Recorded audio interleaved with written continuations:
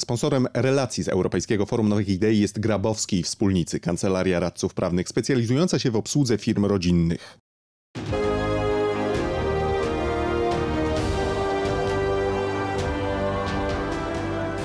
Między innymi o e, sektorze automotive dyskutuje, dyskutują uczestnicy Europejskiego Forum Nowych Idei, które rozpoczęło się wczoraj, a które trwać będzie jeszcze dziś i jutrzejszego dnia. To już jest dziesiąta edycja tej, tego wydarzenia organizowanego przez e, Konfederację e, Lewiatan, a naszym gościem w Sopocie jest doktor Ewa, Ewa Łabno-Falencka, Mercedes-Benz Polska. Dzień dobry.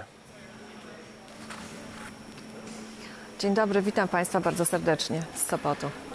Pani doktor, w e, jednym z tematów, który będziecie Państwo poruszać w panelu, w którym Pani będzie uczestniczyła, to jest temat uniknięcia blackoutu w motoryzacji, w sektorze automotive po 2030 roku. Dlaczego ten 2030 rok jest takim kluczowym? Trochę się przestraszyłem, kiedy zobaczyłem, że tak dobrze jesteście w stanie wskazać tę datę krytyczną.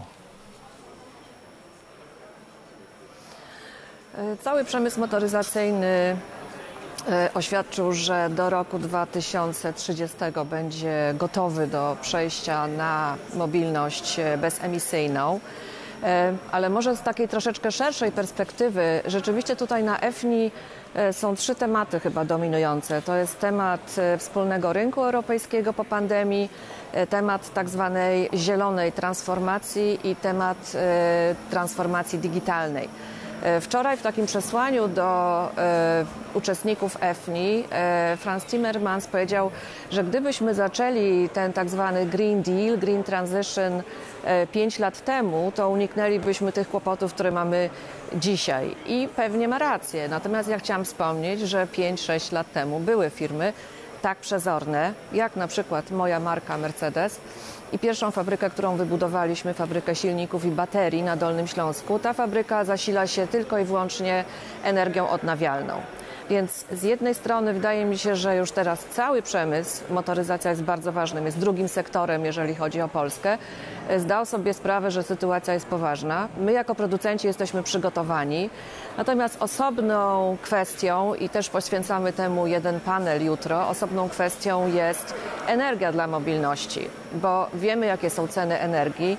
E, Wiemy, jakie Polska ma ogromne problemy z, e, właśnie z tą zieloną transformacją. No i wiemy, jaka jest e, struktura ładowania samochodów elektrycznych. No ona jest bardzo niedoskonała. E, Wystarczy powiedzieć, że obecnie mamy w Polsce 3000 stacji punktów ładowania, a za 5 lat potrzebować będziemy 40 tysięcy. No i pytanie jest, jak e, mamy to wspólnie e, zapewnić, bo wzrost samochodów, ilości, liczby samochodów elektrycznych bez dopasowania do tego ładowania jest po prostu z punktu widzenia klienta nie do przyjęcia.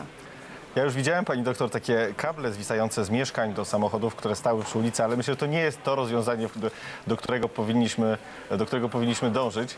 E, przed, nami natomiast, e, przed nami natomiast wyzwania takie jak to, o którym pani powiedziała odnośnie, odnośnie fabryki. Ono mnie bardzo zainteresowało. To znaczy, jakiego, jakie rozwiązania technologiczne są wykorzystywane w dużych zakładach przemysłowych, po to, aby móc zapewnić samowystarczalność energetyczną takiego, e, takiego zakładu. Jeżeli chodzi o naszą fabrykę, w której pracuje ponad 1500 osób na 55 hektarach i produkowane są setki tysięcy baterii i silników, my się zasilamy energią odnawialną z pobliskiej farmy wiatrowej. E, Oczywiście wymagało to takiego e, bardzo perspektywicznego spojrzenia, ponieważ 5-6 lat temu jeszcze nikt nie mówił o zielonej transformacji. No ale mądre firmy e, wyprzedzają swój czas, potrafią zanalizować trendy. Natomiast jeżeli chodzi o całą produkcję, bo przecież mówimy o mm, neutralności emisyjnej nie tylko tego samochodu, który można zobaczyć, czy też pojeździć nim po ulicy, ale mówimy o całym łańcuchu wartości, od zakupów poprzez produkcję, a potem po użytkowanie i utylizację. E, I tutaj technologia jest właściwie jedynym e, środkiem do celu. E, Nowoczesne fabryki to są fabryki tak zwanego przemysłu 4.0, gdzie mamy oprócz automatyzacji, robotyzacji, mm, mamy po prostu współpracę systemów cyberfizycznych, to znaczy nie tylko człowiek-maszyna, ale maszyna-maszyna. Ja tylko powiem, że y, przez y, na przykład zarządzanie oświetleniem w naszej fabryce jesteśmy w stanie y, zaoszczędzić, nie wiem, około półtora miliona złotych rocznie. Także po prostu wszystkim trzeba zarządzać, trzeba mieć instrumenty, a technologia, nowoczesna technologia bardzo w tym pomaga. E, Jeżeli chodzi, musimy, będziemy powoli kończyć te, te, te rozmowy, ale ja muszę jeszcze zadać jedno pytanie dotyczące technologii, które są rozwijane w, e, w firmie, w, w której pani, e, pani pracuje. Powiedziała Pani, że baterie, one są w, produkowane na dużą skalę w, w zakładach w Polsce. Czy elektryczność bateryjna to jest ta, którą, e, na, na którą stawia Wasza firma?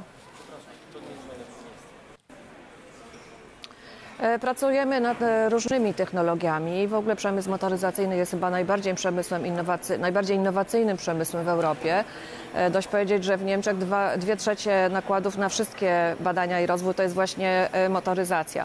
My generalnie stawiamy na e, samochody zelektryfikowane, zarówno plug-in hybrid, tutaj mamy doskonałe połączenie diesla z silnikiem elektrycznym, e, albo samochody elektryczne, e, właściwie we wszystkich e, klasach i e, modelach.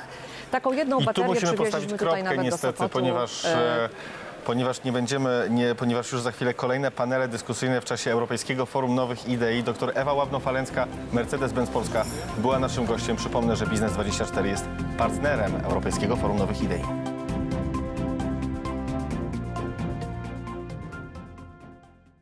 Sponsorem relacji z Europejskiego Forum Nowych Idei jest Grabowski i Wspólnicy, kancelaria radców prawnych specjalizująca się w obsłudze firm rodzinnych.